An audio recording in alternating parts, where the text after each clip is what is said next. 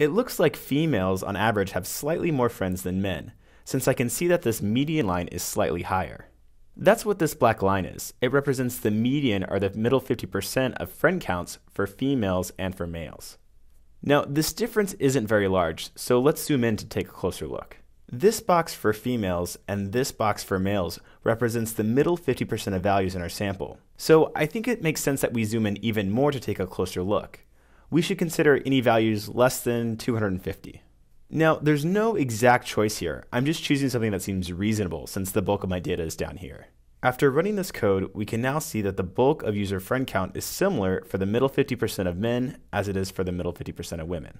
It's just our females are slightly higher for friend count. Let's look at actual values though and compare the values to what we see in our box plot. We can look at those values by using the by command and running a summary over friend count split by gender. So first I want to include the friend count, which is the variable I want a summary of. I want to split it over gender, and I want a summary. Running this code, I get an output of my table, which shows me the minimum maximum values for both genders, as well as the quartiles. The first quartile for women is 37, and that looks about right in our graph. The third quartile, or the 75% mark, is at 244, and that's all the way up here.